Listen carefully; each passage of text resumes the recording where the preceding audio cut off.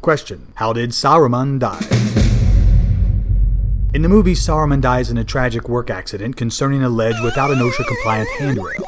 But in the books, Saruman leaves Isengard and takes over the Shire. With a gang of 100 men, he enslaves all the hobbits and burns the Shire to the ground. But there were some who resisted. Four mysterious hobbits returned from Gondor and organized an army. The Battle of the Bywater is about to begin. The hobbits were led by two famous warriors from Rohan and Gondor, Merry, Knee Stabber Brandybuck, and Pippin, Fool of a Took. In Bywater, they feigned retreat and led the men into a trap where they were porcupined by brutal hobbit archers before being chopped up by merciless hobbits with axes. The scourging of the Shire was finally over. After this defeat, Saruman met his end when Wormtongue stabbed him in the back in front of Bag End. Dude, you do not want to mess with angry hobbits.